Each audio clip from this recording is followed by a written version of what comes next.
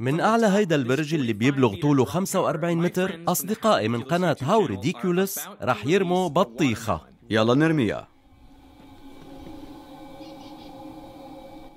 أوه!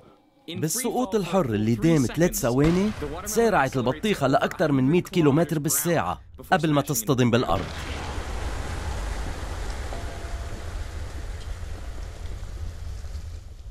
النتائج كانت متوقعة بس هي كانت المثال القياسي للتجربة الحقيقية. رشينا بطيخة تاني بطبقة من البوليمر. رح نحكي بعدين عن هاي الطبقة وكيفية عملها. هلأ رح نشوف أداء البطيخة المرشوشة باختبار السقوط.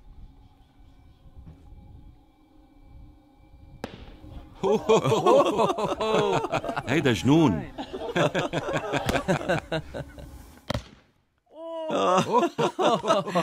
عم تمزحوا معي. بدل ما تتحطم بلشت البطيخة تنطنط على الأرض.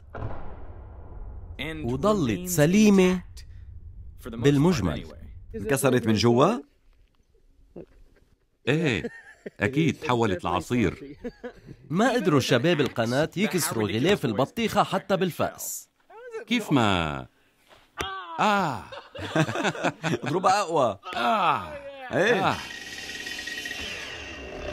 آه. آه، شو هيدا آه آه، شوفوها شوف بعدها متماسكة شوفوا. شي بجنن. مش معقول.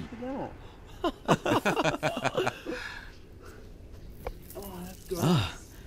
شي بجنن. من المذهل إنه تبقى البطيخة سليمة رغم سقوطها بسرعة بتتجاوز ال 100 كيلومتر بالساعة. رحت لأعرف أكثر عن الدهان اللي اسمه لاين إكس. فوضى كتير. وحتى مكونات الطلاء خبصة والعملية كلها فوضوية كتير. شفتوني لابس بدلة الرش العملية عبارة عن فوضى. لما نخلص رح نحصل على أشياء رائعة. لاين إكس مصنوع من مكونان ألف وباء. وداخل كل واحد منهم في مواد متعددة. بس المكون الأساسي للمادة ألف هو دايفينيل ميثان 4 4 داي ايسوسايانيت أو ام دي اي تتفاعل هالمادة كتير بسبب آخر مجموعتين. المادة باء هي بوليستر يعني ببساطة هي مادة تلدين.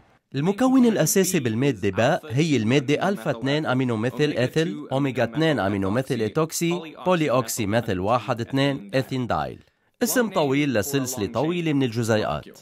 بالحقيقة ممكن تكون أطول من هيك بكتير. قدرت أقنع برين يسمح لي أخلط المادتين بالطريقة التقليدية بعصا خشبية. هاي المادة ألف. واو. رح حط المادتين ألف وباء هون وأنت اخلطهم ماشي. شو رح يصير. ماشي؟ إيه.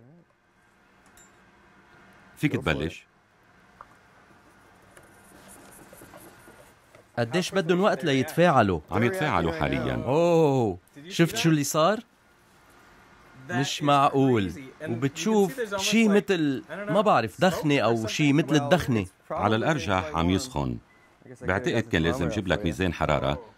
تحسس أرضية الكباية وخبرني. صحيح سخن كتير. كأن أرضية كوب قهوة سخن كتير. ساخن كتير. إيه. يلي عم بيصير إنه جزيئات المادتين ألف وباء عم تتفاعل لتكون سلاسل طويلة. بالنقطة يلي بتتصل ببعضها بتشكل مجموعة يوريا بتتسمى الماده بوليوريا. بنية هالسلاسل هي المسؤولة عن خصائص الطلاء. فإذا هو صلب لأنه مصنوع من خيوط متشابكة من الجزيئات وبنفس الوقت مرن بسبب إمكانية تمديد هاي الخيوط وعودتها لمكانها الطبيعي. بالتفاعل الكيميائي بهالطريقة منتعلم إنه سريع وما بيستغرق غير ثواني وإنه طارد للحرارة. تنبعث كمية كبيرة من الحرارة أثناء تكون هالروابط.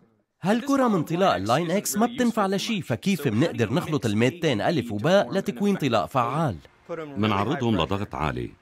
ومنحطهم مع بعض بمساحة صغيرة كتير على درجة حرارة مرتفعة ومنخليهم يصطدموا مع بعض فبيختلطوا وبيطلعوا بعدها شي من الرشاش بالبداية بتكون العناصر منفصلة وبعدها بتنخلط وبتطلع من الرشاش وبتصيب الهدف بجزء من الثانية.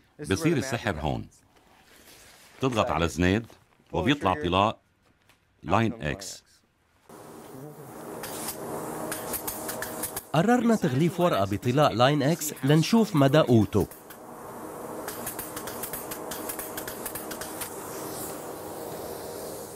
مثل ما شفت بيطلع سائل ساخن ومرتفع الضغط. طيب حاليا الورقة ساخنة كتير ساخنة كتير. لأنه التفاعل طارد للحرارة. بيطلع السائل بدرجة حرارة 65 وبيضل يسخن أكثر وأكثر. على الأرجح بتقدر تشقها بقدر شقة؟ إيه بظن. آه. شفت؟ هيك. تمام. بضلوا المادتين يبحثوا عن جزيئات بعض أو أي شيء يرتبطوا فيه لحد ما تلاقي كل الجزيئات مكان لنفسها أو تيأس من البحث. وهذا ممكن يستغرق يوم أو أكثر.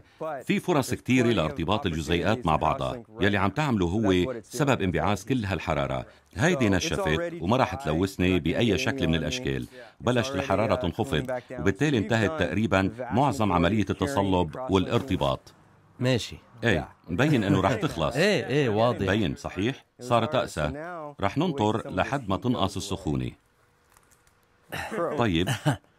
على الأرجح عم يزداد التصلب بشكل كبير. صار صعب شقة بهالمرحلة. قاسية قاسي كتير. إيه ما بتقدر تتغلب على قوة الشد. قوة الشد العالية هيدي هي نفس السبب يلي بيخلي البطيخة تنطنط. شي بجنن. لما بتصطدم بالأرض بينعصر محتوى البطيخة للجوانب. بس جزيئات البوليوريا بتتحد مع بعضها لتمنع قشرة البطيخة من إنه تتشوه كتير أو تنكسر. لهيك بتنطنط البطيخة بدل ما تنكسر. بيستخدم هالنوع من الطلاء على جدران البنتاغون لمنع دخول أي شظايا في حال حصول انفجار بالخارج ما يعد السبب الأساسي لوقوع إصابات. وبيستخدم بالسترات الواقية من الرصاص لاحتواء شظايا رصاصة اللي ممكن تسبب وقوع إصابة خطيرة. هاي استخدامات رائعة لمادة اخترعت لغطاء بطانة سرير الشاحنة.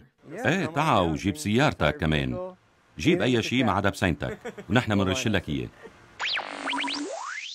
شكر كبير للشباب بقناة هاو ريديكيولس على اليوتيوب. هن يلي رموا كرة السلة عن الخزان. هيدا أشهر فيديو لإلي. كانوا عم بيقوموا بكتير تجارب رائعة مثل تحدي كرة البولينج مع الفأس. لهيدا السبب فإذا روحوا اشتركوا بقناتهم فوراً.